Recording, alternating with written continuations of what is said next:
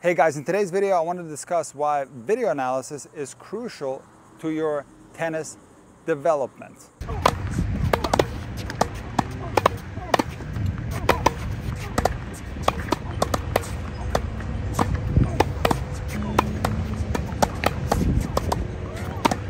Now back in the day, cameras weren't so readily available. I can remember my dad had a huge camcorder, one of those things you had to carry on your shoulder, and he would record a lot of tennis, but the footage, of course, wasn't as high quality as now. And to view the content, it was a hassle. You know, you had to put the little cassette that was in the camcorder, you had to put it in a bigger adapter cassette and then stick it in the VHS. And it was useful, don't get me wrong, but it wasn't as easy as it is nowadays where everybody's got a phone with a super high quality camera. So why is video analysis so important? Well, it's because when you're playing on the tennis court, what you perceive your technique to be is not necessarily the reality. I'm sure you can relate to this. You might be thinking that your forehand looks like Roger Federer's forehand and then you record yourself and you take a look at it and you are in shock because it looks nothing like it. Now another reason why video analysis is crucial is that even if you're working on technique with a coach or by yourself, there's going to be certain things inside of your technique that are going to be difficult to feel. And this is where video analysis comes in very handy because through slow motion, you can examine these small, intricate details of your strokes and see whether you are lacking some fundamentals in those areas. So in other words, there are parts of the strokes that are happening so fast that even a coach can't catch these technical elements in real time. This is where slow motion footage is very crucial. And that's why video analysis can be extremely helpful in identifying technical deficiencies and in setting up a plan on how to correct them. Now, video analysis is not only good to correct your technique, but it's also super important to improve your match play. So I recommend to everybody that you record yourself as much as possible because when you're in the heat of the battle,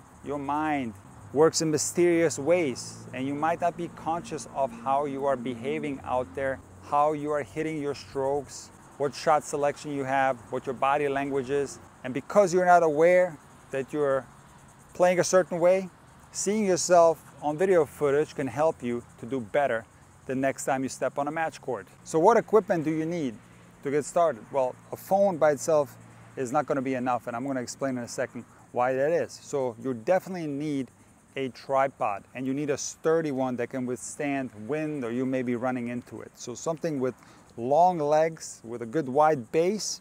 If you want to get this one, I have an Amazon link in my description. I've had these tripods for three years and they're holding up really well. You also will need an attachment to put your phone on a tripod. As far as a camera, a phone is completely sufficient. And I want you to keep one thing in mind when you're recording yourself with the phone. For your forehand, backhand. And for your volleys, you need to put your phone in landscape format. In other words, the phone has to be positioned like this. When you're recording your serve and your overhead, you do need to put your phone in the vertical format. Why? Because if you have your phone in the landscape format and you're recording your serve, you might not catch the height of the toss. While in a vertical format like this, you'll definitely catch the height of the toss. If you record everything in a vertical format, you might miss some forehands, backhands, and volleys because the frame is not big enough and you're gonna run out of the frame super easily and you're gonna miss a lot of shots. So again, forehand, backhand, volleys, landscape, serve and overheads, vertical. And I'm gonna show you the perfect way to capture your strokes so that you don't miss anything. So if you're hitting a forehand, the camera must be to your side. If you're hitting a backhand, of course, the camera is gonna be on the other side. If you're hitting a serve as a right-hander, the camera is gonna be on your right side. You're also going to need rear footage. So you put the camera right behind you.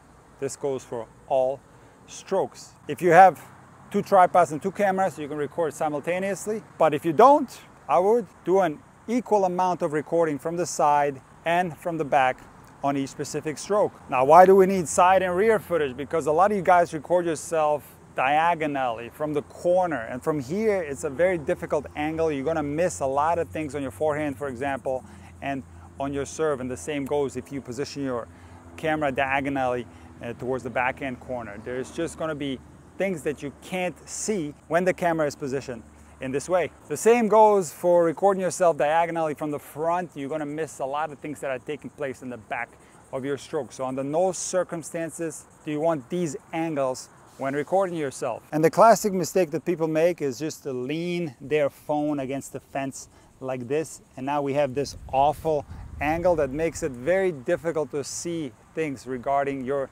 video analysis. This is something that I see all the time when people send me footage of themselves playing.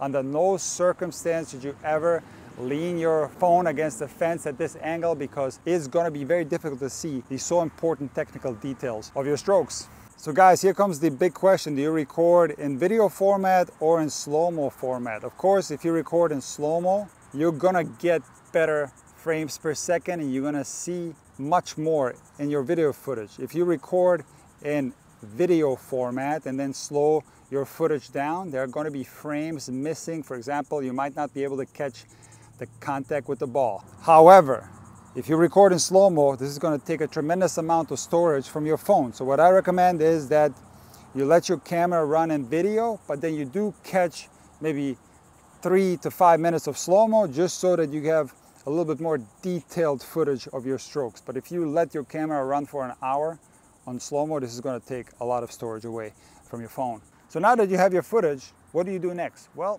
you're gonna need a slow-mo app because the scroller on the iPhone Photos app is too fast. It's gonna be very difficult to slow the stroke down and find the contact because that slider is just not accurate enough. So I recommend that you buy any slow motion app on the market. Just go to the app store, type in slow-mo and pick your favorite one. All of them are better than the actual Photos app on your iPhone. And why do I say that? Because the scroller is more accurate and it's much easier to find a specific portion of your stroke with a more accurate scroller. Now here comes the most important question.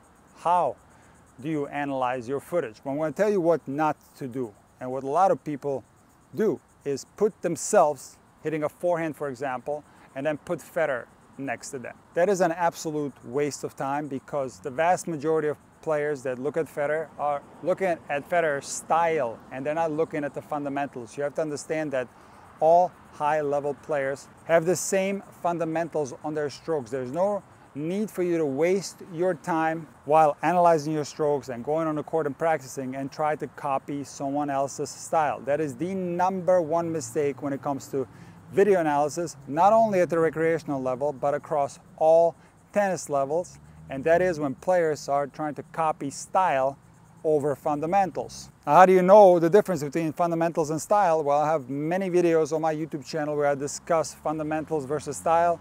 If you go to Intuitive Tennis Premium, which is my membership site, I have an entire course where I discuss the difference between fundamentals and style on all the strokes in the game of tennis. And guys, look, I've coached thousands of players from the beginner level all the way to the professional level via video analysis and these players have improved tremendously because of that. I created a system where I'm able to pinpoint all the deficiencies on every single stroke. And I've put all this information into a course called the Intuitive Tennis Video Analysis Masterclass. Now this is a very comprehensive course that covers all strokes and it includes match play analysis. And if you're more interested you can go to the description and click the link, but I'm gonna give you an excerpt from the course where you can see my method of analyzing strokes.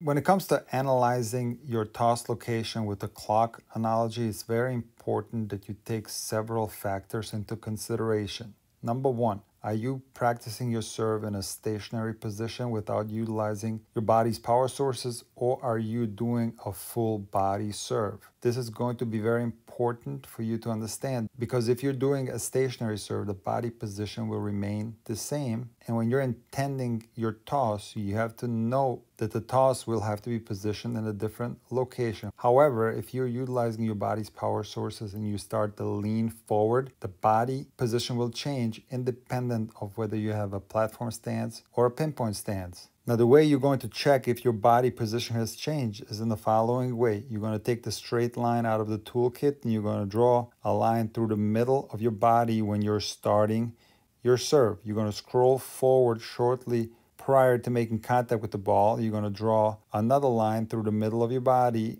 And now you're going to start scrolling back and forth, and you can see whether your body position has changed. You should lean forward on your serve, and this is a natural position that the body will get into shortly prior to the contact, and this affects your toss intention tremendously. So, knowing that your body position will change, you need to intend to toss the ball in such a way that you end up making contact around 12 o'clock. So in your toss analysis, you're going to scroll forward shortly prior to you making contact with the ball. You're going to draw a line through the middle of your body. And now you scroll towards the contact and you're going to see that the contact on your flat and your slice serve is occurring between 12 and 1 o'clock. Now you're going to take the circle out of your toolkit and you're going to draw it right around the contact. You can see that this contact is occurring slightly to the right of this line. And this straight line in the middle represents 12 o'clock. So any contact that's occurring slightly to the right, we're going to call that 1 o'clock. And anything that's further to the right, we're going to call that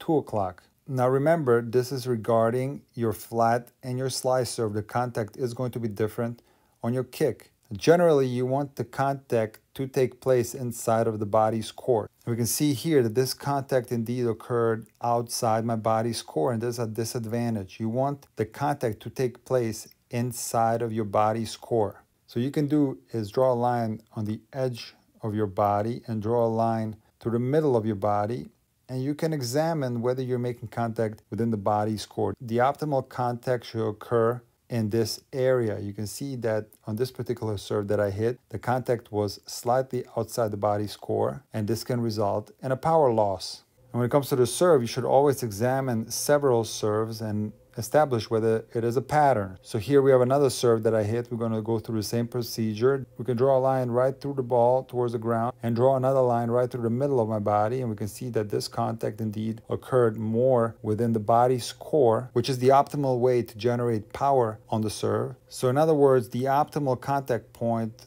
on any serve should be right at 12 o'clock. That should be the goal to be able to hit all serves right at 12 o'clock. Not only is this going to be optimal for this guys, but it's going to maximize the power potential on your serve. Now on the kick serve, the contact is going to be different. So we're going to go through the same process. We're going to check if the body position has changed. So we're going to draw a line through the middle of the body in the beginning of the serve. We're going to scroll forward shortly before the contact. We're going to see that even on the kick serve, the body has shifted forward. So this is something that's very important for you guys to analyze because many of you have a stationary kick serve. In other words, you don't use your body's power sources when you're serving your second serves, and especially if they happen to be struck with kick. So in other words, if I know that I'm not going to use my body, I'm going to be stationary, I'm going to intend toss the ball in this location. But as I scroll forward, we can see that this ball is far away from this location and you might identify this as a mistake. However, it is not a mistake because if we draw a line through the middle of my body, we can see that contact occurred to the left of this line. In other words, contact was established right above my head. In the clock analogy, we can scroll back a few frames shortly prior to the contact, draw a line right through the middle of the body, and we scroll forward towards the contact. We can see that contact was established slightly to the left of this line. Remember that the middle line always represents 12 o'clock. And when it comes to the kick serve, it can be struck anywhere from 12 o'clock to 11 o'clock. So if you're flexible enough, you could get away with the toss being on the left side of your head. However, as long as contact is established at 12 o'clock and the body is sideways on the kick serve, we're going to achieve this so important sideways position of the racket head at the moment of contact, which will allow us to strike the serve with topspin.